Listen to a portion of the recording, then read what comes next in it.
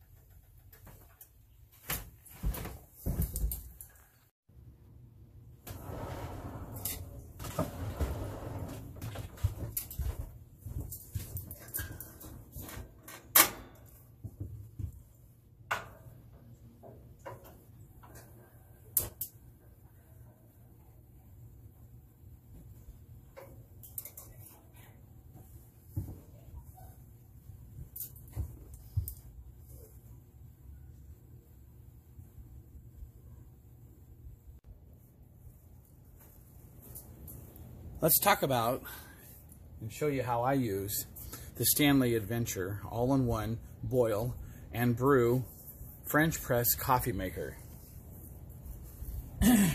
this thing, um, as I've already showed you, stays in my EDC bag uh, pretty much all the time. Um, if I've just recently used it, I will sometimes, um, if I'm not able to dry it, I'll make sure and let it dry for a day maybe before it goes back in there. But for me, this is this is really handy. 32 ounces, and it's big enough inside for me to put a cup, coffee, and a sweetener.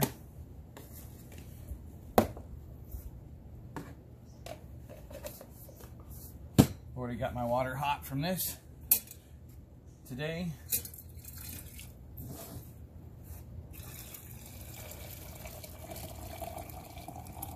It was at 170. I don't probably cool down a little bit by now. That's okay though. And for me, oh, I'm gonna have to do this differently. I didn't. Grab a spoon. This is an eighth cup, eighth of a cup measuring, and um, I put four scoops. In my other press, I only use um, I only use two because it's only a 16 ounce. And because I didn't grab anything to stir it with, I will do this. it's not... Okay, and I'll clean that off before I put that back. You know, I always thought it was a good idea to get that wet before you put this in. But here's the here's the truth. I um, have done this a couple times when I'm storing it and it's completely dry. I hope I haven't hurt it. Seems to still work good. I've had this for about six months. Um, April 18th or something like that is what the date says um, when I got it from Amazon. Okay, we're going to pause for about three to five minutes and I'll be right back.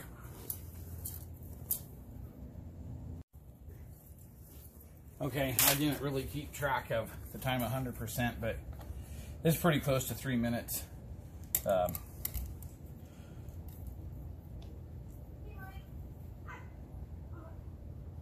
now, because I wasn't able to stir this like I really wanted, like I really wanted to, um, and I didn't double check to make sure there was no grounds up super high. But I've never so far had a problem with actually uh, having uh, grounds get in my coffee when I double check that they're not, you know, up the side of the the press. But I do have one of these with me if ever need be.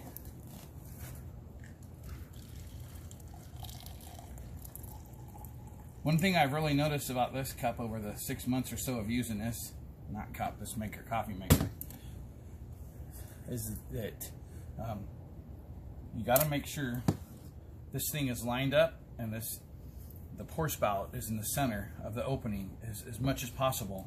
And when you're pouring, you don't pour too fast because I've made, I've spilt coffee and you know, nobody likes coffee abuse, right? Yeah, that's still a little too hot. So, here you go.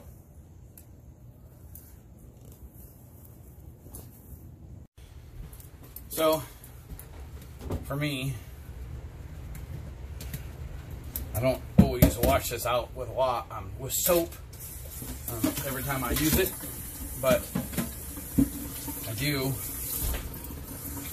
give it a thorough rinse. I'll take my fingers and make sure there's no grounds that have got over the outside of the rubber seal on the lid.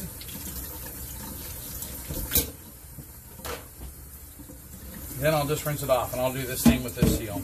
Just rinse it off really well. That's what I do. Seems to work well. Make a couple last points before this video goes too long and uh, I lose people's attention. Um, I I came across this um, press after I bought my other one, my 16 ounce one. Um, with long story short, I like that one because that one will keep stuff hot for um, quite a few hours and cold for a lot more hours.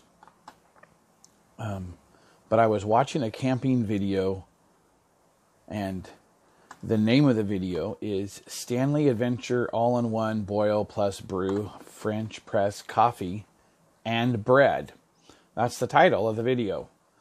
It's um, on YouTube, and the guy's name are um, is Roberts Bushcraft. That's the name of the channel. Roberts Bushcraft. And I'll put a link of that video in my description. But I've seen this and they're actually breaking a little baking um, some bread in this 32 ounce coffee press. Obviously without the, you know, the normal stuff you'd put in it for the coffee, but they just use it as an oven. Um, this video, I was like blown away. So that's what this video is what inspired me to get this press. Maybe it's not important, maybe nobody cares, but um, I want to thank um, Roberts Bushcraft for uploading the video. And it looks like it was uploaded February 9th, 2020. So that's how I came about this press. I really like the press. Um, there's lots of times that I will make coffee in it and I will do the full 32 ounces. And then I will take my other Stanley press and I will put half of it into there, puts a lid on it, keeps it warm for, you know, it says four hours. It actually keeps it for me warm enough for five, five and a half hours later um, I haven't actually tested a time by the minute, but so, um, and then I just drink the one I made, and I, you know, rinse out my uh, 32 ounce press. Anyways, that's about it. I am hoped you enjoyed this video. Um, I hope somebody got something out of it. Hope you have a blessed afternoon, morning, day, whenever you watch this. Please, if you liked it, click on the like button, the thumbs up, um, and uh, subscribe. And if you subscribe and you want to get notifications, please click the bell. Hey, talk to you later.